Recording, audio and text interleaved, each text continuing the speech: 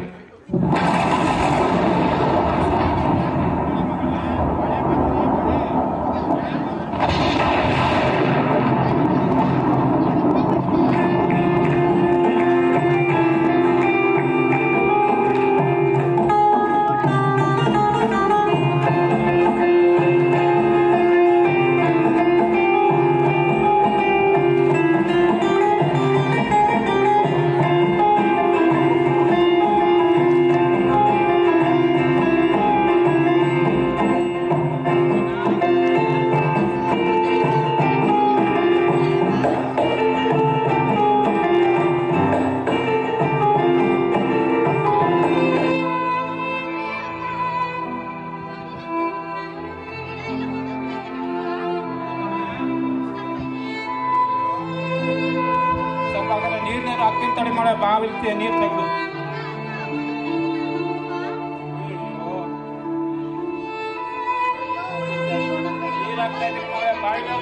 ಇದ್ದೀನಿ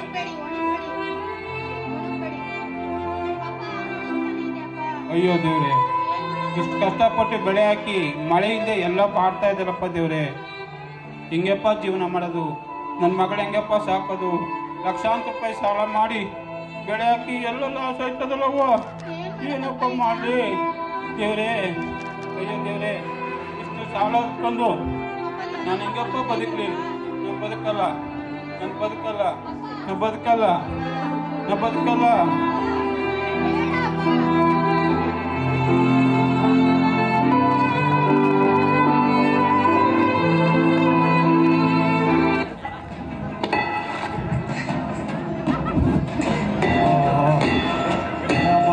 ನಂಗೆ ಬೇರೆ ಖರ್ಚಿಗೆ ಕಾಸಿಲ್ಲ. ನನ್ನ ಹೆಂಡತಿ ಬೇರೆ ದುಡ್ಡು ತಗೋಬೋ ಅಂತಂದವಳೆ. ಏನು ಮಾಡೋದು? ಒಂದು ಮರ ಹೊಡೆದ್ರೆ ಇವತ್ತು ನನಗೆ ಖರ್ಚು ಕುಡಿಯೋಕ್ಕೂ ಕಾಸಾಯ್ತದ. ನನ್ನ ಹೆಂಡ್ತಿನೂ ಸುಖವಾಗಿ ಇಡ್ಬೋದು ಪಾಪ ಪಾಪ ಸರಿಯಾಗದ ಮರ?